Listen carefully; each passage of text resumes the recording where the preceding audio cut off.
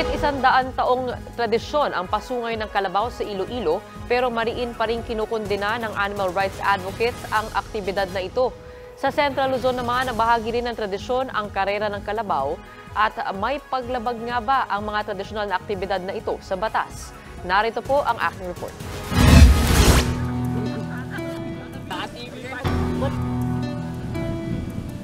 Hari ng Sipag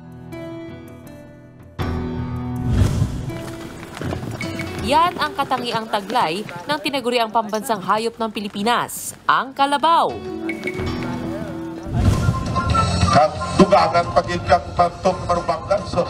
Pero dito sa bayan ng San Joaquin sa Iloilo, Persakan karabaw. Parehas ang abilidad hari naman sila ng lakas at tapang.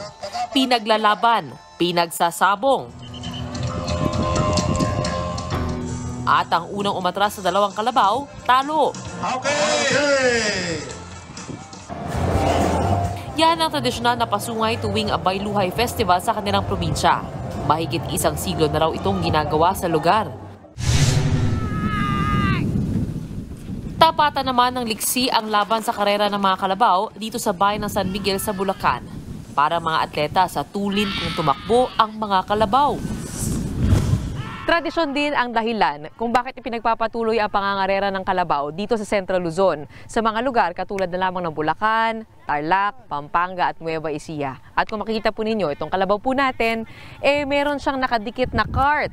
Ito po yung dinidikit para sa training at sa karera mismo. Dito rin po makikita ang hinete na siyang nagpapatakbo ng kalabaw.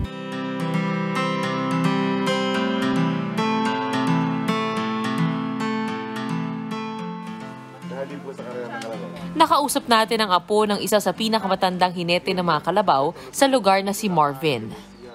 Ano nga ba yung pinagmulan nitong tradisyon na to?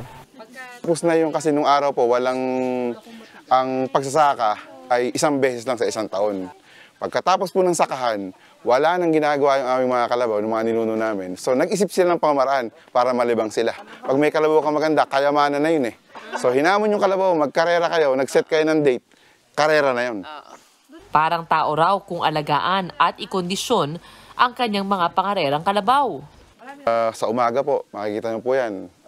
Ga- meron po kaming oval. Na bukod din po yun, nakakariton, nakasakay sila sa kariton na malaki. Na lumalakad yung kalabaw hanggang sa pang-apat na ikot, medyo pabilis na ng pabilis. Parang jogging po sa mga atleta. Ang kalabaw nilang sinagwapo at pangit, pride ng kanilang pamilya dahil parehong kampyon sa karera. Sa laki. Paano malalaman naman kung kondisyon yung kalabaw? Unang-una po, isang kumakarera, titingnan po namin yung ilong. Pag ganito po na nagpapawis, condition po yan. Yung mata rin po, titingnan din po natin. Tulad po ito, tingnan niyo yung mata niya, parang buhay na buhay. Condition po yan. Gaya ng isang tao, kumpleto rin sa multivitamins at sustansya ang kanilang mga kalabaw. Ito ang tinatawag na napier, yung damo na pinapakain sa mga kalabaw na pinangangarera. Marami itong protein, kaya good for the muscle. Pagamat bahagi na ng kultura ang pasungay at karera ng kalabaw, mariin pa rin itong tinututulan at kinukundina ng mga animal rights advocate. because it is considered as cruel. Bakit po ito cruel? Kasi po pinag-aaway natin ng mga tao, no?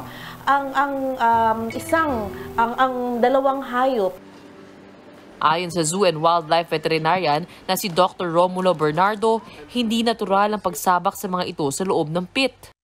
You, you pit them among each other, hindi siya yung natural. Kung masabing magiging mas violent sila, baka kasi ganun sila talaga. Kasi na-domestic sila, so na-lessen yung degree ng kanilang ah, aggression. Sa ilalim ng Section 6 ng Animal Welfare Act of 1998, ipinagbabawal ang pagtorture, pagmamaltrato o kaya'y pagsabak sa mga hayop sa anumang uri ng laban.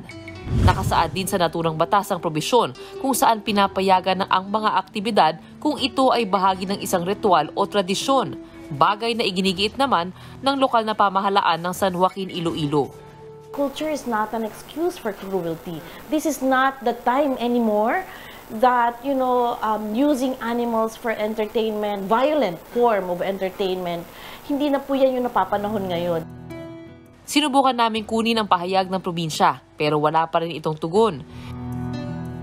Sa isang pahayag naman na ipinadala ng National Commission on Culture and the Arts sa News 5, sinabi ng komisyon na may gumugulong ng investigasyon sa Department of Interior and Local Government o DILG kaugnay ng reklamo ng Animal Kingdom Foundation. Pero para naman sa mga ngalabaw na si Marvin, wala silang nakikitang paglabag sa pangangarera ng kalabaw. Pinakamasarap po buhay ng mga yan. nag animal cru- cruelty na ginagawa namin. Ini iniimbitahan ko po sila na pumunta dito sa sa amin. Puntahan nila, tingnan nila yung kung paano namin sila alagaan. Minsan nga po, yung mga ibang mga, mga ngarera sa kwentuhan, mas mahal pa nga daw po minsan nila yung kalabaw nila kumpara dun sa, kumbaga, sa kwentuhan lang po. Ang tingin daw po ng asawa nila, mas mahal pa yung kalabaw kaysa sa asawa, kaysa sa anak. Gaya ng tao, may karapatan ring mabuhay ang mga hayop sa ating paligid. Hindi man sila makapagsalita, kailangan pa rin nating pahalagahan ang kanilang kapakanan.